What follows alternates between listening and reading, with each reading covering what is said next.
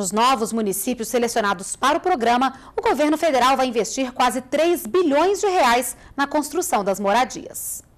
O nível de pobreza foi o principal critério para a escolha dos 2.582 municípios que vão receber 107 mil unidades habitacionais dessa nova fase do programa Minha Casa Minha Vida. São cidades com até 50 mil habitantes e famílias com renda de até R$ 1.600, que vivem em municípios fora das regiões metropolitanas das capitais, os investimentos são de 2 bilhões e 800 milhões de reais. É algo muito importante, por quê? Porque o déficit habitacional no nosso Brasil é muito grande e no nosso município não é diferente. A expectativa é tirar aquelas pessoas que vivem no, no desconforto de moradias ruins né, e pessoas que não têm condições mínimas de comprarem uma casa né, de acordo com a necessidade. Desde 2009 nós estamos cadastrando vários programas do Minha Casa Minha Vida, porque nós temos uma demanda de pessoas sem a casa própria, que é o sonho de cada cidadão, da dignidade de cada família,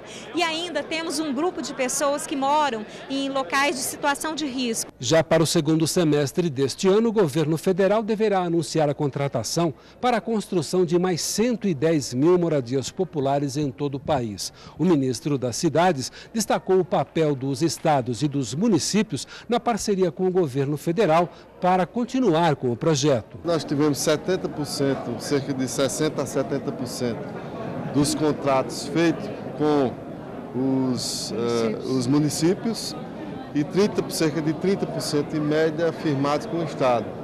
Nós teremos aí contrapartidas de terreno, de áreas, né, em alguns lugares, em outros lugares complementação da própria subvenção, onde isso for, onde isso for colocado, que a, a, essa participação nossa é de 25 mil reais por unidade habitacional. Então isso varia de acordo com o Estado e varia de acordo com o município. A presidenta Dilma Rousseff lembrou que, além do benefício social com a entrega de casas para população de baixa renda, o Minha Casa Minha Vida vem contribuindo com o crescimento da economia do país. Esse programa é também um programa que reconhece a obrigação do Estado brasileiro com as populações que, ao longo dos anos, foram marginalizadas e excluídas da casa própria, e esse programa assume um subsídio direto para essas populações terem acesso à casa própria. Isto significa levar oportunidades de emprego, gerar e fazer rodar o círculo virtuoso, porque o comércio local vai comprar produtos, porque as pessoas vão demandar cimento, vão demandar equipamento nessas localidades.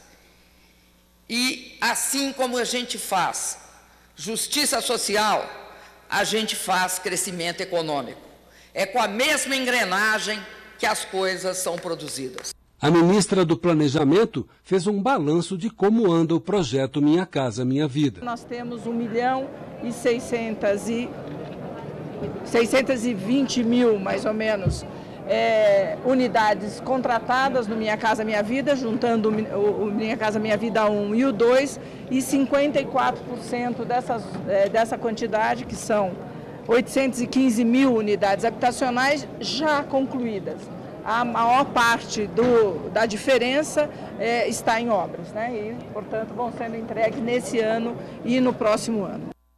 Ainda durante a cerimônia, a presidenta Dilma Rousseff anunciou a nova meta do Minha Casa Minha Vida 2, que passa de 2 milhões para 2 milhões e 400 mil unidades habitacionais a serem construídas até 2014.